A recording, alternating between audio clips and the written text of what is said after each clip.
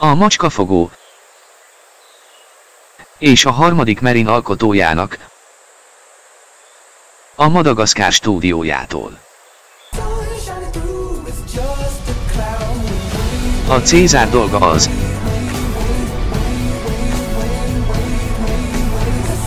hogy tönkre vágja a túlélést.